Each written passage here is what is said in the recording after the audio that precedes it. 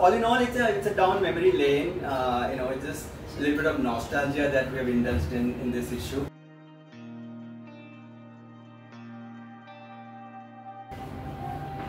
So after some 30 years now, we moved out of the office that we started from.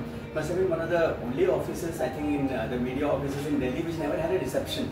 You know, anybody could just walk up uh, to the editor. There was a guard, of course, but uh, mostly anybody could just walk up and you know meet the journalist, go to the first floor, um, go to the second floor, meet the editor. You know, it was as casual as that. Of course, the office was nothing much to speak of. Uh, you know, compared to uh, Britain also, uh, compared to other offices like the NDTV office or my friend's office in Bloomberg, you know, it's really swank and, uh, you know, fantastically done. Ours was a really poor man's, uh, you know, uh, office, but it had charm. It absolutely oozed charm and it was a very, you know, a comfort zone for all of us. Vinod Mehta, who was a founder editor of Outlook, you know, his style of functioning was completely uh, informal and, you know, very, very friendly.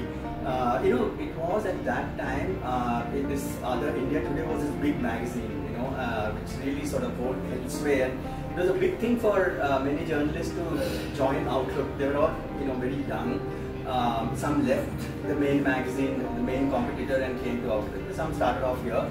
So it was a, you know, as many of them write, it was almost like a college canteen kind of atmosphere. They were all energetic and enthusiastic about doing something new. Uh, so former editor, former managing editor, uh, Sandipan Deb, you know, he has a very delightful piece uh, in this issue about uh, how, how they all started from this, uh, you know, from this pokey rooms in Lodi Hotel, which used to be a government hotel at that time, and then they moved to this place in Safdarjung Enclave, which we have just vacated. Uh, and many others have written, uh, uh, you know, the design head, Vishwadeep Moitra, he's got a very interesting piece. Uh, Sunil Mehra, who now does Dastangoi and uh, who's this celebrity storyteller. He was worked, he had worked in Outlook and he's done many interesting stories. He's, he's uh, written about his uh, memories. Preetha Sen. Most incredibly, Prashant Panjiar, the photographer who headed our uh, photo department, he sent us a piece and in fact this is part of his book and he's kept the, uh, you know, the notes that he had made for the first edition in 1995. So it says, cover story, Kashmir, five pages, you know, uh, then there are feature stories and uh, which we have reproduced in the magazine. That's incredible. So this is about 30 year old notes that he's, he's kept and uh, which is there in his book, so which he shared uh, with us.